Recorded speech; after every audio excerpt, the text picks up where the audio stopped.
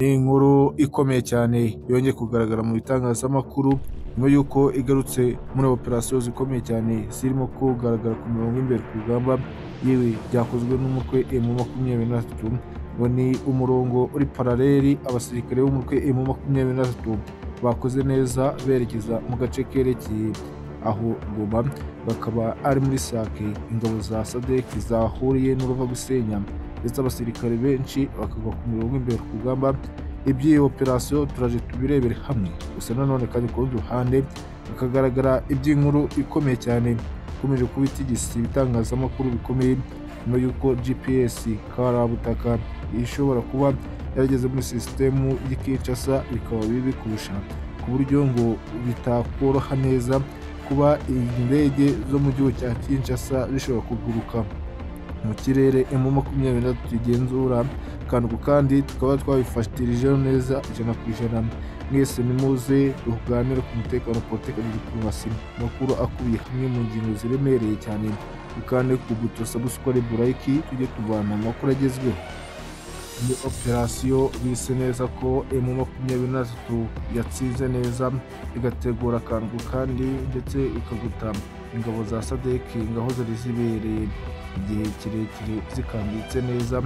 Iyi operasiyo yongeye kugaruka mu bikorwa bikomeye emu makumyabiri na gatatu yagaragaje muri ubutaka bwa repubulika ya demokarasi ya kongo ibi bibaye nyuma y'uko bakoze ikintu kimeze nk'igisheni kirekire. Yewe bagafata n'ibikoresho bya gisirikare bya bindi biremereye. Bamwe bagafata imbunda za muta ndetse n'imbunda ziriho ngo sayirensa bakaza neza neza batonze igisa nk'umurongo. Aho baje neza batonze uwo murongo ariko nanone bageramo hagati bagashushanya ikimenyetso cya u maze bagota igisirikare cya sadeke bivugwa neza ko uwabonaga uko yiruka yacagaho akirukanka. Ariko wavuga ibifaro bigera muri bitatu bya sadeke byongeye gukwirwa nyuma y'uko cyagaragaye neza ko ibyo bifaru biremereye cyane biri mu bwoko bwa tata bikaba byemezwa ko byaturutse mu bihugu bikomeye cyane birimo ububirigi.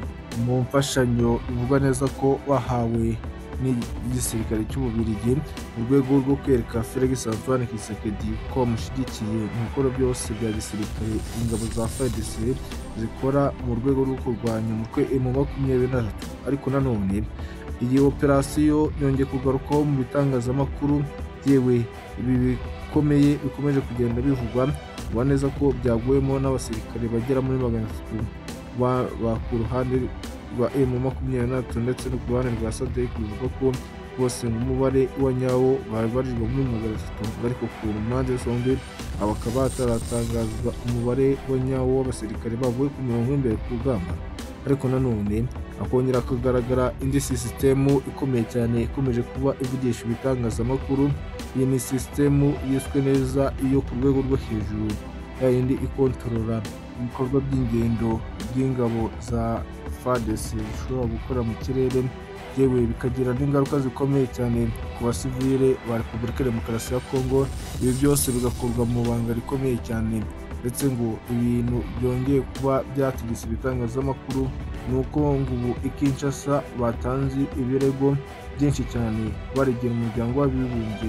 By'ibikorwa ingabo za fadesi zakorewe muri ubu butaka bwa repubulika ya demokarasi ya kongo nuko emu makumyabiri na gatatu nyuma yo gufata agace ka kanyabuyonga bitembo masisi ndetse n'aho bita beni ubu ni ho hageraniwe n'ingabo za emu makumyabiri na gatatu mu bikorwa bya gisirikare birimo kugenda byigwaho isaha ku isaha inama rukokoma zikomeje kugenda zisakiranya umutwe wa emu makumyabiri na gatatu biga neza uko bazakwinjira hano muri beni bagafata umujyi w'ubucuruzi. Byemezwa neza ko nawo ngo uri muri sitarategike y'urugamba emu makumyabiri na gatatu ifiteho tageti neza ubu hakaba harimo kunurwanurwa ko ibirometero cumi na bitanu gusa uva muri beni werekeza ahiswe naho butembo naho hagenzurwa ijana ku ijana. Na gatatu mu gihe gito hafashwe agace ka kanyabayonga. Byemezwa ko ingabo za sadeke zabyegereje umutima yewe ngo bigoranye cyane kuba emu makumyabiri na gatatu yagafata ariko nubwo byatwaye igihe kirekire emu makumyabiri na gatatu bikarangira ikibitseho. Ibyo byose ni ibikorwa bikomeye cyane bya gisirikare. Emu makumyabiri na gatatu birimo kugaragaza nk'ubutaka bwa repubulika demokarasi ya kongo ariko nanone imirwano igakomereza muri teritwari zitandukanye zirimo Masisi ndetse na Rubero nk'uko byemezwa ko izi ngabo za FARDC ndetse n'abo bafatanya ngo barimo kwitora bagakubita ibisasu ku ngabo za M makumyabiri na ariko ibi byose bigasanga hari ubwirinzi bukomeye cyane bwa bundi muzi bwamenyekanye nka anti microlafti mayizayiro bwibitsweho n'umutwe M makumyabiri na ubu ni uburyo burimo kwifashishwa mu birindiro M makumyabiri na yagiye igenzura.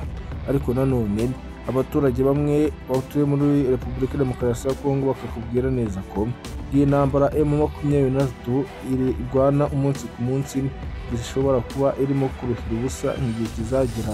Igatanga uduce yagiye ifata ndetse ngo bikaba bibi kurusha. Ibi ngo nta byarusha iby'umutwe wa FDD ngo wigeze gukorera muri repubulika demokarasi ya kongo ibi byose bikarangira byanze ku rwego rwa nyuma. Ariko nanone bakaza kugaragaza indi mpamvu ikomeye cyane yemeza neza ko emu makumyabiri na gatatu muri ibi bitero iri seriye ku rwego rudasanzwe ndetse ngo idateze kongera gusubira inyuma. Ndetse ngo ibi byose byabavumye bagomba kubisigasira akantu kandi ndetse ngo ibi ni byo birimo kubaha ikintu cyiswe ambishoni ndetse n'imbaraga zikomeye zo gukomeza bataka kugira ngo bagure igihugu emu makumyabiri na gatatu ishaka gucamo ibice hano muri repubulika ya demokarasi ya kongo igashinga ikindi gihugu cyayo? Kabone n'ubwo ngo amahanga yasakuza yewe ngo bakabigera ku rwego rudasanzwe ibi byose ngo emu makumyabiri na gatatu nta kintu yitayeho nta by'imikino muri gukubitira mu gafuka. Ingabo za FARDC ngo zikumva neza ibikorwa bya gisirikare ibyo ari byo ndetse bagasobanukirwa neza ibibera muri ubu butaka bwa repubulika ya demokarasi ya kongo bikomeje kuba ibindi bindi mw'abantu. Gusa nanone hakongera kugarukaho propaganda zikomeye bivuga neza ko ngo ziri mu butegetsi bwa Felix Antoine Tshisekedi izo nizo zitumye M makumyabiri na gatatu na zo ituma idasubira inyuma mu rwego rwo kongera kurengera byimazeyo abaturage bateranwe b'abanyekongo bavuga ururimi rw'ikinyarwanda. Bagahunyorwa umunsi ku munsi mu bikorwa bibi bakorerwa birimo kwicwa ndetse no kugenda babanyaga ibyabo.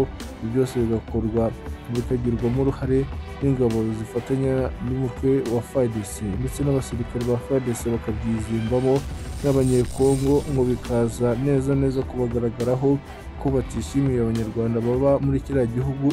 Byose mu makumyabiri na gatatu bikabishyira imbere mu bikorwa